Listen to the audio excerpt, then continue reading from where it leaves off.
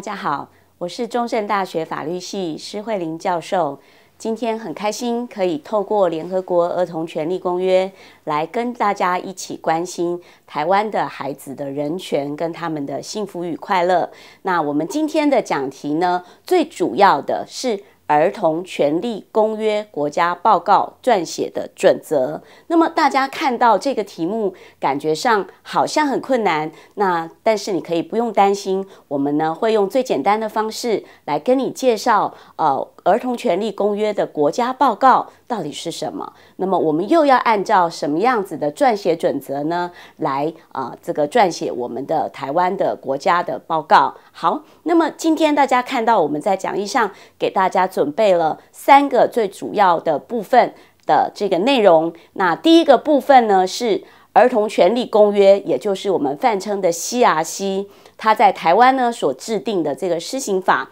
以及呢，在施行法里面，我们有跟大家呃这个规范的这个国家报告的依据。那第二个大部分呢，就是好了。那依照这个依据呢，我们在写国家报告的时候，那我们呢主要必须要参考哪一些的国际的文件来写这个国家报告啊？那这也是我们。非常重要，必须要了解的内容。那了解了这些主要的参考文件之后呢，那我们呢就会依照这些国家报告的撰写准则呢，来跟大家讲述主要的内容。那有哪一些我们需要注意的重点？那这样子的话呢，我们将来在写国家报告的时候呢，才能够一方面。依据啊，这个联合国所给我们的一些准则呢，那么来写内容。另外一方面呢，我们又可以按照台湾的啊目前的状况来告诉全世界的人，台湾儿童人权的发展的进程。好，那我们今天依照这三个部分呢，来跟大家讲解如何的来撰写国家报告，以及国家报告的撰写。必须要按照哪一些的撰写准则？好，那所以一刚开始的时候呢，我们应该就要先来问自己，或者是问大家一个问题，就是台湾虽然不是联合国的会员国，但是我们呢要来践行儿童权利公约，而且要来依照儿童权利公约的撰写准则来撰写国家报告。那为什么呢？好，那既然我们不是联合国的会员国，为什么我们要做这一连串的动作？好，那所以呢，大家看到在讲义上面呢，我从一九八九年那一直到现在，那我们有呢，呃，给大家一个呃小小的故事，要来让大家了解儿童权利公约在台湾它实践的进程。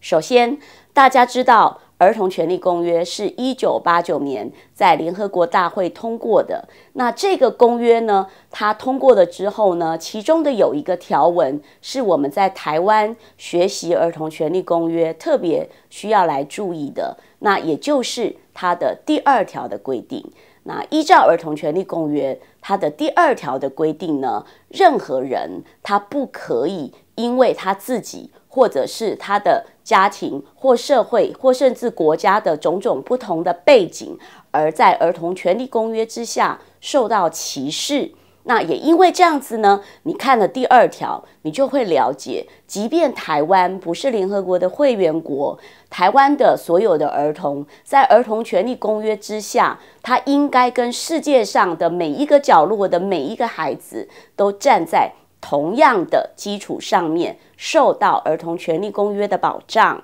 好，那第二个我们在这边看到的非常非常重要的一个原则叫做儿童最佳利益。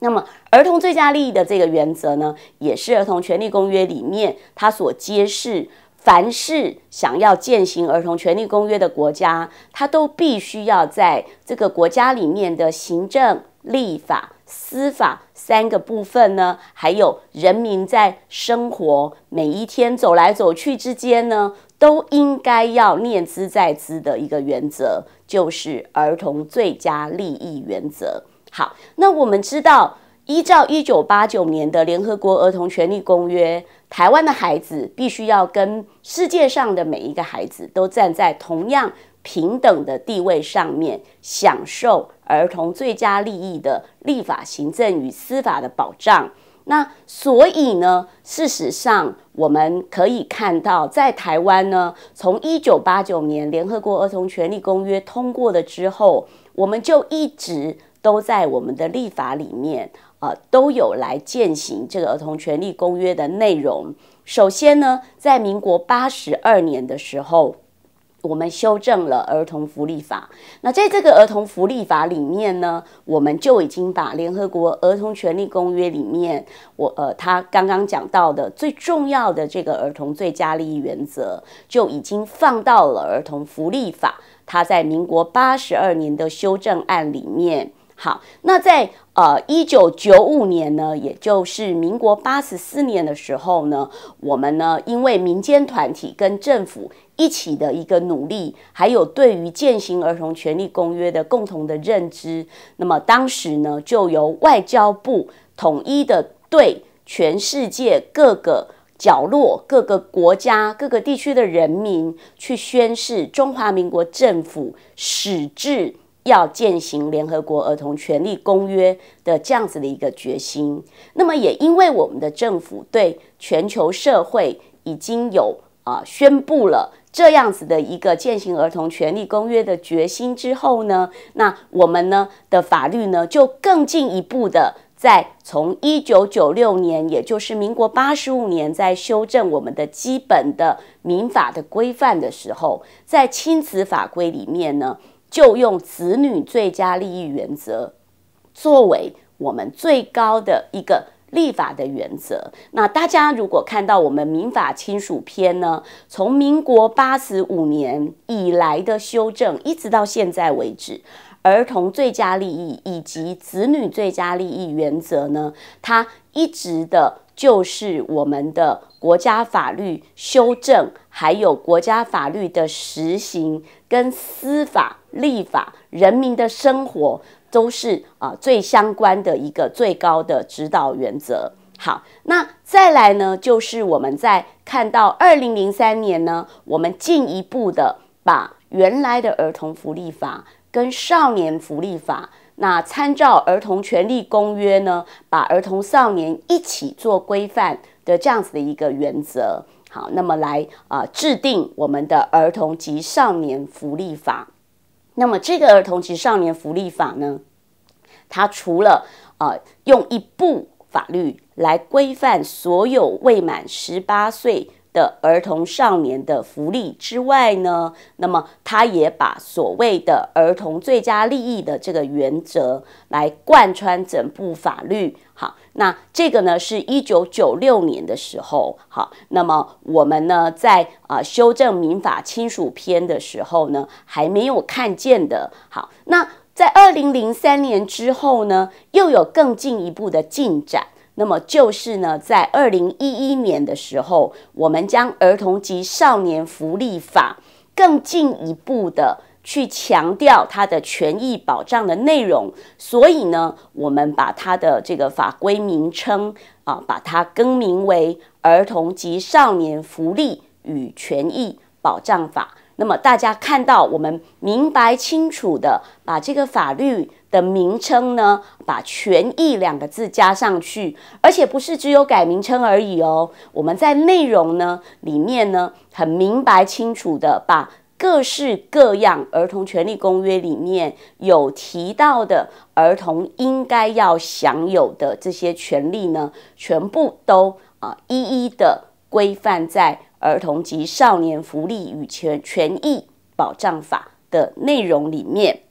好，那么在二零一四年的时候呢，基于我们的国家既定的政策，我们想要来践行联合国里面啊，他们很重要的呃主要的几个人权公约，那么儿童权利公约呢，也是其中一个，所以呢，我们就公布施行了。儿童权利公约施行法，好，那这个施行法的内容呢，我们等一下会再比较详细的来跟大家来介绍。好，那依照这个儿童权利公约施行法呢，你就可以看到它的规定呢，里面明白清楚的告诉我们，我们要来撰写联合国儿童权利公约的国家报告，而且必须呢要在二零一六年十一月二十日之前来完成。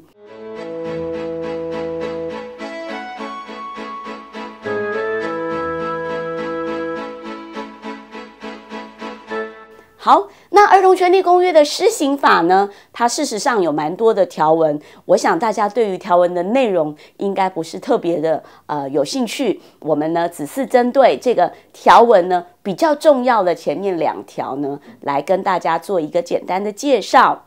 好，首先大家看到第一条，跟着我来念一次哦。为实施联合国一九八九年儿童权利公约（以下简称公约）。健全儿童及少年身心发展，落实保障及促进儿童及少年权利，特制定本法。好，为什么要有这样子的第一条呢？其实它最主要是在提醒我们，大家看到联合国儿童权利公约，会觉得，诶，它在规范的是儿童，但是呢，第一条很明白清楚的。告诉我们，联合国儿童权利公约，因为它界定儿童是指未满十八岁的人。那么，如果相对于我国法律的规定呢，那么必须要是把它对于啊，相对于未满十二岁的儿童，以及十二岁以上。未满十八岁的少年，把它放在一起，那么才是跟联合国儿童权利公约所规定的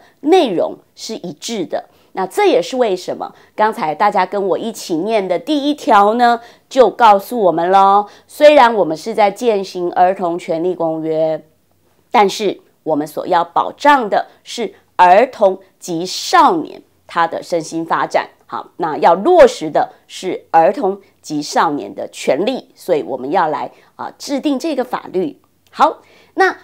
看到的第一条之后呢，你知道我们所要保障的是儿童少年的权利。那你再来看看第二条，其实很清楚的就告诉我们了。虽然联合国儿童权利公约感觉上呢，它的这个加加入的这个签约国呢，应该不会包括台湾。好，那么所以呢，我们今天要来践行儿童权利公约呢，并不是直接依照联合国儿童权利公约，而是要依照这个施行法。那么，所以你看到第二条，再跟我一起念一次哦。第二条的规定说，公约所揭示保障。及促进儿童及少年权利之规定，具有国内法律之效力。这个意思就是告诉我们，联合国儿童权利公约，不管它的会员国是不是包括台湾，我们呢都要把这个公约里面所有的条文，把它当做是我们自己的国内法，这样子来施行。好，那么有了这两个施行法的条文呢，我们应该就很清楚明白的可以了解儿童权利公约跟我国的行政立法司法中间的关联性呢，就等于是国内的法律的效力是一样的。好，那么所以呢，我们就从这里就可以知道施行法一定就规定了为什么我们要来写。好，儿童权利公约的这个国家报告。好，大家看到我们讲义上面告诉我们施行法的第七条。好，这个第七条的内容，它的规定是这样子的。那它的规定说呢，我们的这个法律在施行后两年内啊，那也就是二零一六年的十一月二十日啊，那在这个施行这两年内呢，必须要提出第一次。国家报告好，那在第一次国家报告提出了之后呢，以后每五年要再提出一次国家报告，而且呢，你看一下哦，施行法第七条里面说，我们要来邀请相关专家学者及民间团体代表来审阅，然后政府呢也必须要在国家报告写完了之后呢，要依审阅意见来检讨严拟。后续的施政，也就是说，写国家报告不是写完了作文交给老师就结束了哦，它必须要拿来作为我们行政啊、司法啦，还有啊，作为甚至每一天父母亲要怎么样来保护教养他的子女的这个依据。好，那刚才我们有讲到嘛，这个儿童权利公约哦，它事实上在它的自己的内容里面就已经有规定，每一个国家必须要来写国家报告。那是在哪里呢？好，你看到我们在讲义上告诉你，其实《儿童权利公约》的第四十四条的第一款，它就有规定。好，也跟着我来念哦。缔约国承诺，在本公约对当事缔约国生效后二年内，向委员会提交联合国儿童权利公约执行情况的首次报告。此后每五年一次。好，那大家可以看到，我们的施行法第七条就是啊，依据了这一个儿童权利公约第四十四条的第一款的规定，那么来啊，这个告诉我们，虽然台湾呢并不是这个联合国儿童权利公约的缔约国，那但是呢，因为立法院它已经啊这个制定了施行法，而且施行法的第七条呢就已经有规范了。国家报告的提交的义务，好了，那么呃，虽然法律里面有规定啦，我们要来提国家报告，对不对？好，那就像老师出作业一样啊，老师写，老师说我们现在要来做一个报告，那你会问什么问题呢？你就会问说，老师，那请问你哦，那你说我们现在要来做这个报告，那请问你是谁要负责来写报告呢？好，那所以呢，我们看到在这个施行法。的第六条第一项里面，好，大家跟我一起来看一下这个规定的内容哦。第一项，行政院为推动本公约相关工作，应邀集学者、专家、民间团体及相关机关代表，成立儿童及少年福利与权益推动小组，定期召开会议，协调研究、审议、咨询，并办理下列事项。好。有几个事项呢？第一款，公约之宣导与教育训练，你必须要先宣导，要教育训练，大家才知道国家的报告要写什么。啊好，那第二个呢，是各级政府机关要落实公约，它的督导。如果你没有好好的来哦督导公约是怎么样子来落实的话，你怎么写国家报告呢？好，第三个呢，国内儿童及少年权利现况之研究。与调查，你当然必须要先来研究调查这个公约，它到底在台湾实行的内容，还有实行的状况是怎么样，你才有办法去写国家报告啊，对不对？好了，然后呢，你把这些事情做完了之后，你就会知道要怎么样来提出国家报告了。好，那因为这样呢，我们的行政院哦，就真的依照这个法律，它就呢啊成立了。这个儿童及少年福利与权益的推动小组，好，那这个推动小组呢，啊，大家看到我们讲义里面呢，告诉你喽，在二零一四年十月一日，他的第二次会议里面，他就核定通过了落实儿童权利公约推动计划。那么在这个计划里面呢，他很明白清楚的告诉我们，执行机关呢，啊，分成两种。第一个呢是统筹的机关是卫生福利部，那第二个呢是他主办的机关是中央及地方的各级政府的机关。好，那另外呢，行政院的推动小组，他又在二零一四年五月三十日召开这个会议呢，那来讨论联合国儿童权利公约。国内法化的办理情形，然后他做了决议哦。大家看到我们在这边啊，呃，有把它列出来啊。那么这个决议里面说，请卫生福利部、社会及家庭署就未来规划事项积极推动办理。积极推动办理什么呢？就是联合国儿童权利国公约的践行以及国家报告的撰写。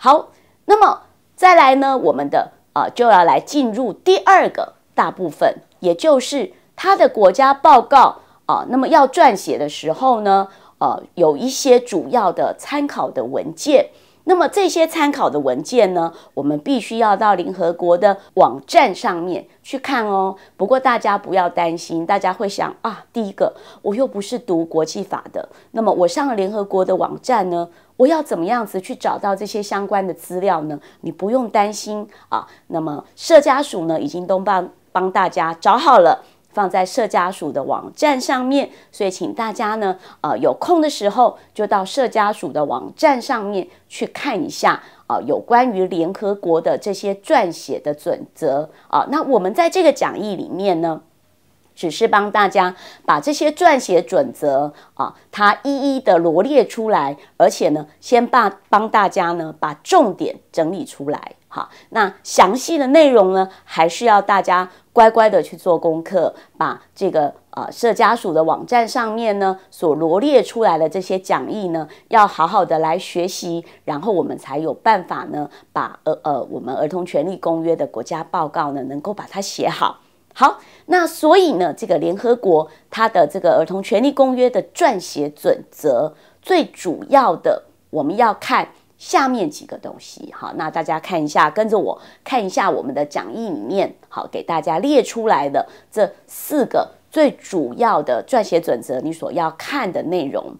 第一个呢，就是啊，《儿童权利公约》，你当然要先去看一下它的原文，因为我们的呃这个国内法化后呢，我们会呃这个呃看到的呢，事实上是中文版，不过呢，原文呢是英文版。还有中文的简体字版，可能大家都还是要去参考一下。好，所以呢，第一个我们所列出来的重要的撰写准则，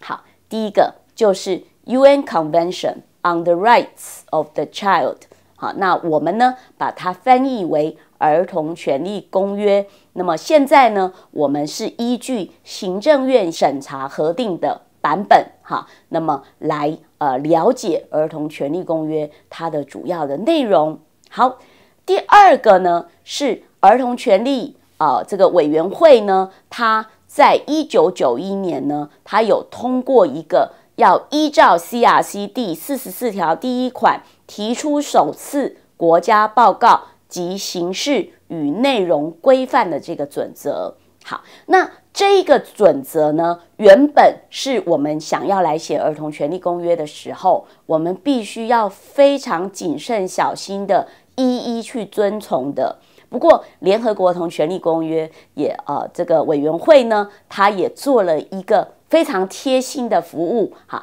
那么，他把这个规范的准则呢，连同其他非常重要的一些文件，把它在二零零九年哈放到。国际人权条约缔约国提交报告的形式和内容准则汇编里面，好，那在这个准则汇编的第一章呢，是啊一般的原理原则，第七章呢是关于联合国儿童权利公约的主要的内容。好，那。再来呢，我们还有要看到一个很重要的文件，好，那么这个文件呢，呃，虽然不是我们写第一次的国家报告要用到的，可是是以后每五年我们要来写定期报告的时候会用得到的。那也就是在我们讲义上大家看到的联合国撰写准则的第四个重要的啊这个呃文件。我们的这个中文呢，把它翻译为 CRC 定期报告专要文件撰写准则。好，大家看到联合国它的这个呃呃委员会呢，哈，这个儿童权利委员会呢，它通过了这些看起来好像很复杂的撰写准则。好，那很可能呢，就会开始担心怎么办？我要去看这些。非常形式化的，好，非常有法律专业内容的这些撰写准则，我才能够写国家报告吗？大家不要担心，只要跟着我再往下看，那我们呢会来告诉你这个撰写准则它的主要的一些内容，来让你注意到我们将来在写国家报告的时候，应该来注意哪一些的内容。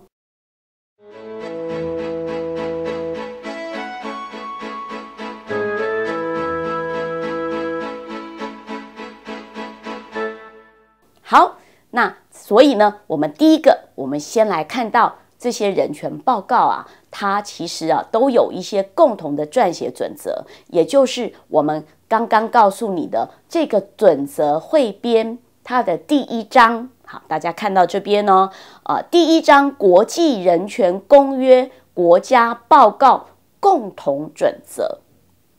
我们在稍早的时候呢，有告诉大家啦，说因为我们现在有一个呃国家的政策，希望呢我们呢可以啊来践行联合国的一些主要的人权的公约。那这里呢，大家就看到了什么叫做联合国的几个主要的人权公约，就列在这里喽。好，那么在第一章《国际人权公约国家报告共同准则》。的一开始，它就啊规范了啊，那请大家也一起跟我来把它念过一遍啊。本共同准则旨在指导缔约国履行下列条款规定的报告义务。好，下面哦，你看到就列出了几个联合国的主要的人权公约。第一个。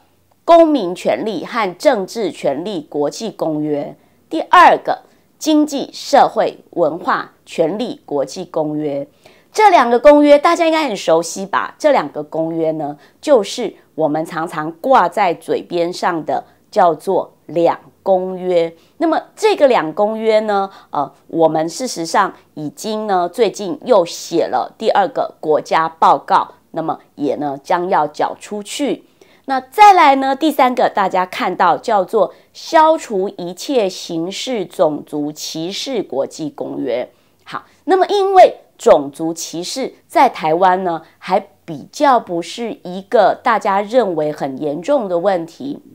所以这个公约呢，我们呢虽然也会。去践行它。不过呢，我们现在还不是把它放在啊这个比较前面的重要的地位来处理它。那我们优先处理的是什么呢？是大家看到的第四个，消除对妇女一切形式歧视公约，也就是呢，大家常常把它简称为 CEDAW 的这个公约。好，那么 CEDAW 这个公约呢，它最主要想要促进的是两性的平权。那它事实上里面也有一些相关的规定呢，是跟联合国儿童权利公约呢是互相呼应的。好，那第五个呢是禁止酷刑和其他残忍、不人道和有入人格的待遇或处罚公约，那简称为。禁止酷刑公约，好，这个公约呢，我们也在努力中。好了，再来，大家看到红色字的呢，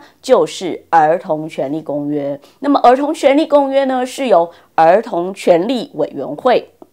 主要的。来负责啊，那么监督呢各个国家来撰写国家报告，还有呢从国家报告中间呢来看看各个国家是不是有好好的来践行这个儿童权利公约。那最后一个重要的国际人权公约呢是保护所有已洗工人及其家庭成员权利国际公约。好，那这个公约呢，事实上对于台湾社会来讲也是非常重要，它也跟联合国儿童权利公约呢有关联性。因为呢，大家知道，在台湾呢，最近二十年呢，有越来越多的新住民的家庭。那么这些新住民的家庭呢，啊，不管是爸爸或者是妈妈，那么有许多呢，都是这边所谓的。这个移徙工人哈，也就是啊从外国呢到本国来工作的人。好，那么这些从外国到本国来工作的人呢，不管是在生活上面，好，或者是在他的亲情、爱情等等各种关系上面，那么他都会有一些不一样的人权议题需要我们来关心。那么，所以呢，如果我们可以好好的。来处理这个公约的话，它也会啊间接的去维护到儿童的人权。好，那在我们知道我们有这样子的这么八个重要的国际权利公约，而且儿童权利公约也是其中的一个之后呢，好，我们在下几页呢，我们把这个国际人权公约国家报告的共同准则里面，我们觉得在写国家报告的时候，我们大家要一起来注意的其中几个啊，那我把它挑出来，来跟大家呃来做一下报告。首先，大家看到前面有数字，好，那一些数字呢，就是原来共同准则里面，它每一个准则呢，它都有标号，好，那当然大家就看到了，你看到我的第一页的讲义呢，啊的这个要点里面有第三号、第四号、第七号跟第九号，那么就知道呢，其实一二好，还有五六，还有八。是哦，可能大家还要再回去做功课的时候参考一下哦。不是我们在这里没有把它列出来，就表示它不重要。那另外呢，在这边，即便我有列出来的这个共同准则呢，它也都只是共同准则的原则，还有它的重要的重点而已，并不是共同准则的。这个全文哈，所以呢，啊，从这边我们啊，在这几页跟大家提醒的一些要点里面呢，也要先跟跟大家讲哦，你看的这些要点。不是只有这些而已哟，好，如果你看的这些要点去考试的话，会不及格的哦，哈，所以你也要乖乖的到我刚刚跟大家说的社家属的网站上面，它有这一些共同准则的全文，大家一定要乖乖的哈，那去把这些啊共同准则的这个全文呢，一条一条好好的。读过去，那么我们在这边呢，只是提纲挈领的把一些你一定要特别注意的要点，先跟大家啊来说明一下。好，那大家看到三缔约国依循本共同准则提交报告，使每个个人好的人权机构呢和缔约国。都可以在履行国际公约、缔约国义务这个广义的理解基础上，全面了解缔约国履行各权人权公约的情况。好，所以呢，本共同准则也提供撰写各国国家报告的统一框架，以利各人权委员会在此框架下展开跨机构协力工作。好，那所以呢？跟着三呢，第四就告诉我们说，因为这个共同准则给了我们一个统一的框架，那所以呢，他希望我们可以避免不必要的资料重复。这什么意思呢？意思就是你看，我们要写这么多的不一样人权公约的内容，那么所以呢，你在写不一样的人权公约的内容的时候，如果它有牵涉到一些一样的。好，这个资料的时候，你不需要在每一个国家报告里面，你一再的去重复这些资料。好，那再来呢？第七个，它就是跟着第三个、第四个、第七个原则呢，告诉我们说，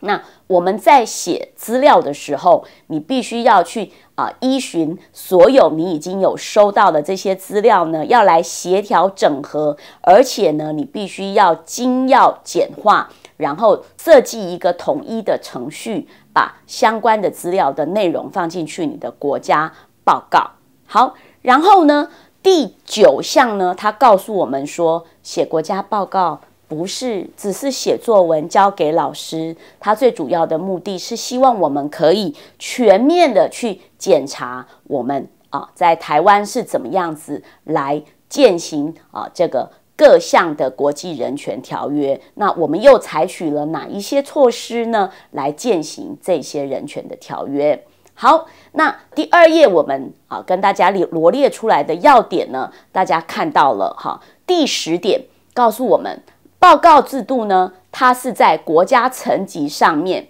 它要便利。社会大众对政府的政策要进行监督哦，好，所以这个是由下而上的，人民必须要知道，好，那他要怎么样子来透过市民社会的这样子的一个功能跟角色呢，跟政府来建立建设性的对话。好，那么十三第十三个要点呢，他啊提醒每一个国家要来。建立国家报告的撰写的机制，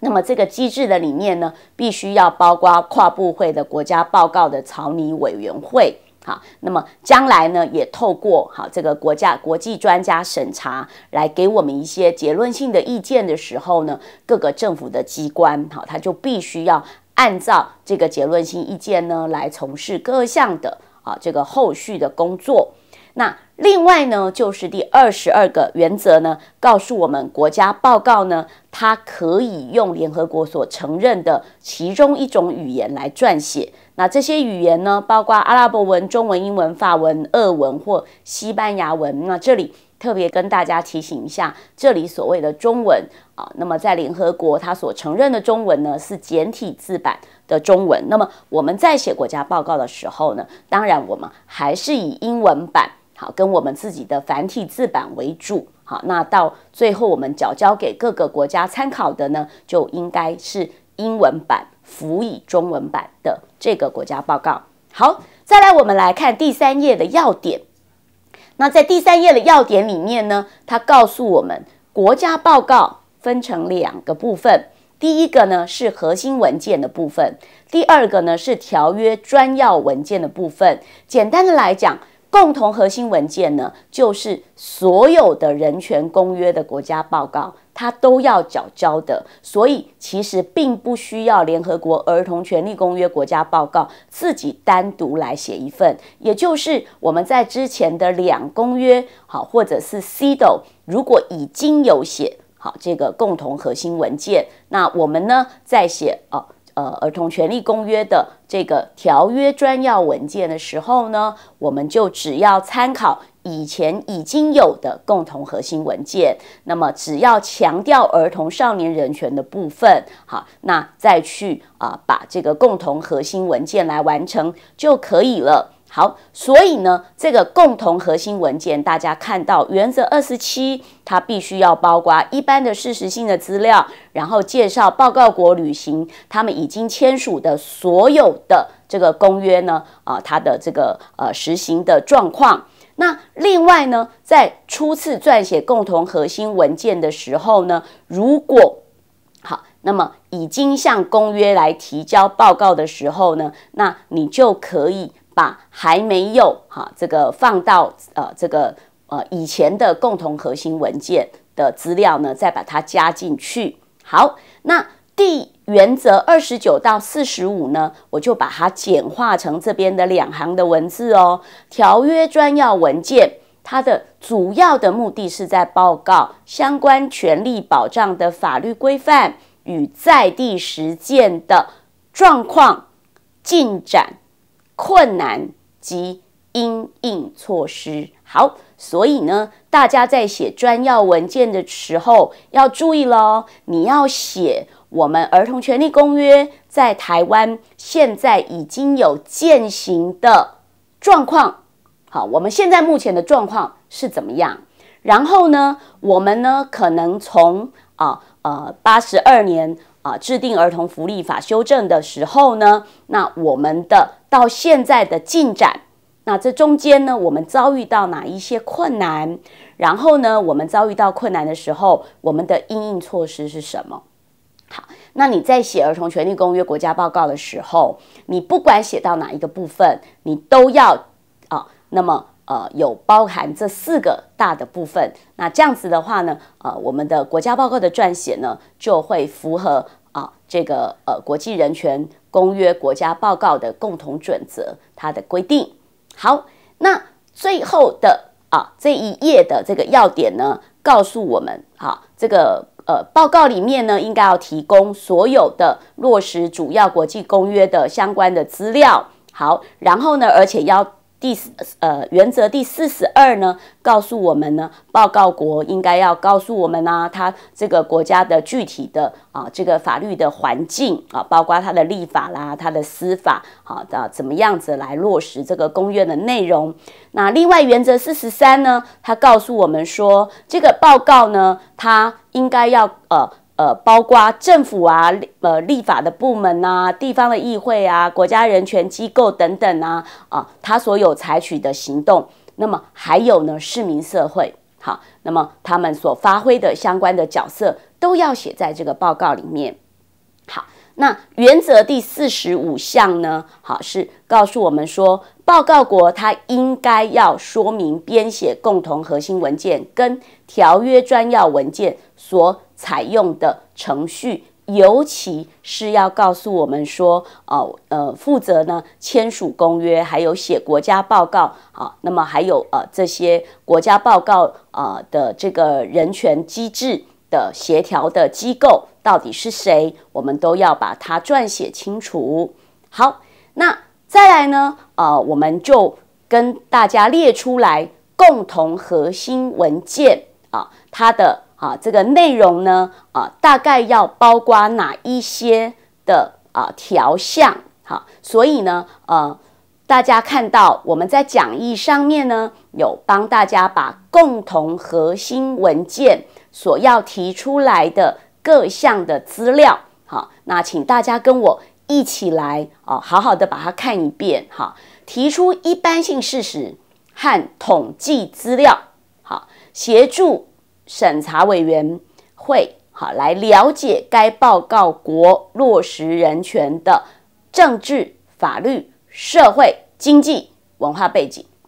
好，那么你为了要做这一件事情呢，那你就要提供三项资料。第一项呢是就是呃针对国家的人口、经济、社会、文化特色，还有这个国家的宪法、政治跟法律结构来介绍我们的一般的资料。好第二个大部分呢是保护和促进人权的一般的框架，好，那包括四个主要部分。第一个呢就是这个国家普遍，好，也就是台湾我们普遍接受国际人权标准的一些情况。那第二个呢就是我们在国家层级保护儿童人权的法律框架。第三个呢是在国家层级促进人权的法律框架。那第四个呢是国家层级的报告程序。好那再来呢，就是我们国家如果有一些非歧视、平等、有效的补救措施的相关的资料。好，那在专要文件的部分呢，好，那你就要看到，就是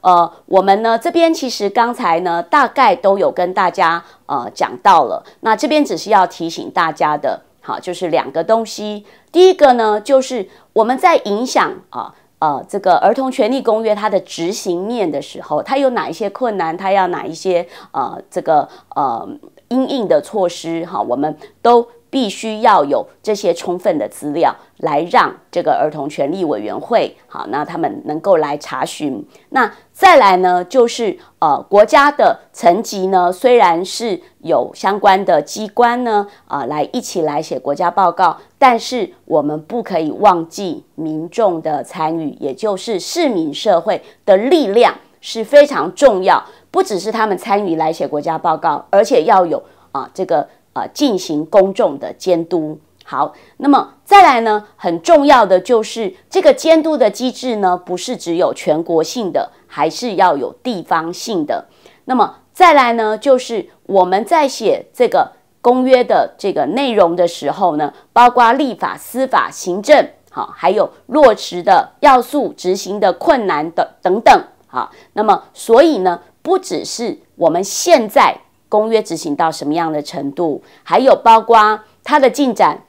还有它的未来的优先性跟具体的目标。好，那么这个呢，呃，这些呢都是我们刚才都已经跟大家提到了。那只是呢，在这个第七章的儿童权利委员会的初次报告，又跟啊大家进一步的。好，来呃呃提醒，好，就是我们不管是要全国地方性，我们都要有一些相关的啊，这个政府跟民间的合作的这个机制。好，那呃这边呢是条约的专要文件。必须要有这些内容啊，一般的执行措施，要有儿童的定义，要有一般的原则，要有公民权和自由、家庭环境和替代性照顾、基本健康跟福利、教育、休闲与文化活动、特别保护措施。那它的内容啊，真的就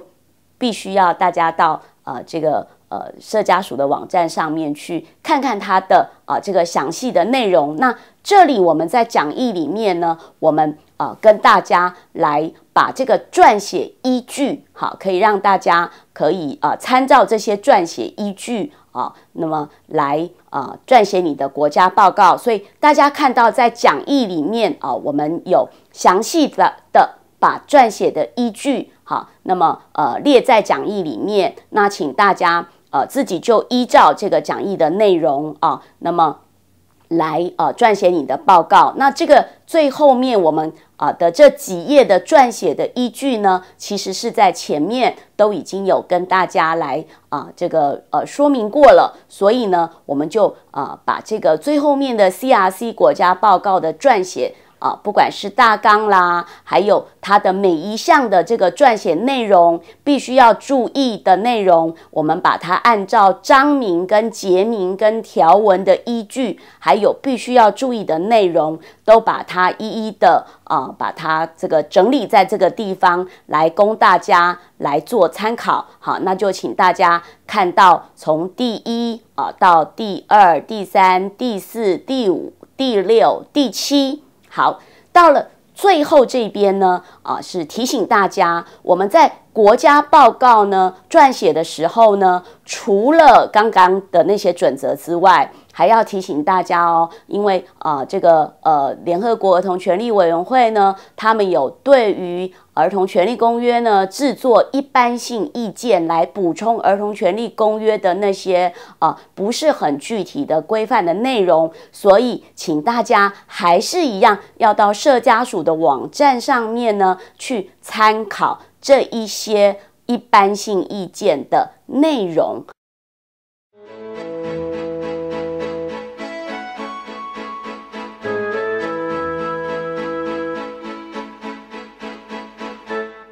好那最后呢，呃，想要跟大家说的是呢，我们觉得，呃，一个国家的啊儿童权利的主要的呃内容呢，虽然是你从可以从国家报告里面看得见，但是呢，呃，一个孩子他的幸福。